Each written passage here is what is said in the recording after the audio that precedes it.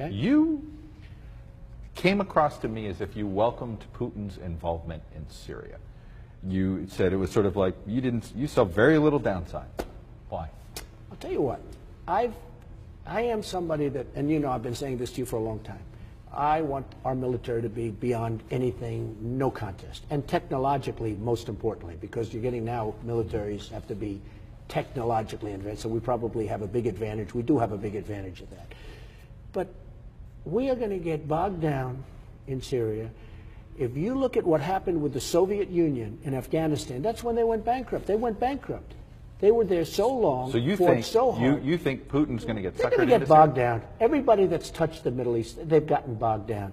Now, Putin wants to go in. Putin does not want ISIS. I know they haven't hit him as hard as they should be hitting him because They're hitting Assad. They're hitting people we've trained. w- excuse me, we're, they're hitting people, we're talking about people that we don't even know. Right. The rebel group, we have no idea. I was talking to a general two days ago. He said, We have no idea who these people are. We're training people, we don't know who they are. We're giving them billions of dollars to fight Assad. And you know what? It's very possible. I'm not saying Assad's a good guy because he's probably a bad guy. But I've watched him interviewed many times, and you can make the case. If you look at Libya, look what we did there. Mm-hmm. It's a mess. If you look at Saddam Hussein with Iraq, look what we did there. It's a mess. It's going to be the same thing. Do you thing. think the Middle East would be better today if Gaddafi, Saddam, and Assad were sort of, uh, if, if, Saddam and Gaddafi were still there and Assad were stronger? Not even Do you think a- the Middle East would be it's safer? not even a contest, Jack. It's not even a contest. Iraq is a disaster. And ISIS. it'd be better off out- if Saddam were Don't forget, charge. ISIS came out of Iraq. Right. It was No, like the leftovers that didn't get Well, let me taken button care this of. up. If Saddam and Gaddafi, do you think things would be more Of course stable? it would be. You wouldn't have had your Benghazi situation, which is one thing, which was just a terrible situation. But of course it would. Libya is is not even nobody even knows what's going on over there. It's not even a country So anymore. you welcome Putin's involvement.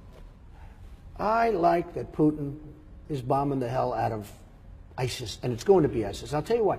Putin has to get rid of ISIS because Putin doesn't want ISIS coming into Russia. Why do you trust him and nobody else does? I don't trust him. I don't trust him at all. Other than we both got very good ratings the other night on 60 Minutes because it was with me and Putin. Can you believe this? of Uh, all there things, you go. Right? So I don't know. Did I get the ratings or did he? But the truth is, it's not a question of trust. I don't want to see the United States. We've spent now, we've spent two trillion in Iraq, probably a trillion in Afghanistan. We're, we're in there. We're destroying our country. We owe 19 trillion dollars. We're bogged down. Russia was bogged down in Afghanistan, meaning the Soviet Union. It broke up the Soviet Union. They're going to get bogged down. You watch. As sure as you're sitting there, and I'm the one that said don't do. So you would Chuck, retreat. I said you, don't you would, do Iraq. You would sort of, you would pull out of what we're doing no, I'd now. sit back and this is not usually me talking, Yeah. okay? Because I'm very proactive, Right. as you probably know. I know. But but I would sit back and let's see what's going on. Here's the problem to to what you're saying in Syria. Mm-hmm. We are fighting Assad, and we're fighting for people and helping people that we don't even know who they are, and they may be worse than Assad. They may be worse, okay? They may be worse. And if Assad, if Assad never happened, if you didn't have a problem in Syria, you wouldn't have the migration. You wouldn't be talking about all of these countries with what's going on in Europe. And now they're talking about taking 200,000 people that we don't even know who they are and bringing them to the United States. The whole thing is ridiculous. So I'm not justifying Putin.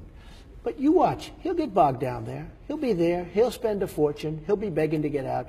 Everybody that's gone to the Middle East has had nothing but problems. So President Trump, you're going to make our footprint in the Middle East smaller. Well, if you remember, number one, in 03, 04, I, didn't want to be there. But if you get in office in 17, you're they got out the wrong. footprint. I wanted to take the oil, okay? Right. I wanted to take the oil. You know who has the oil now? Iran has the oil. ISIS has the oil. You know who the biggest customer of the oil is? China. You know how much they spent? Nothing. They're the ones getting the oil, but ISIS has it.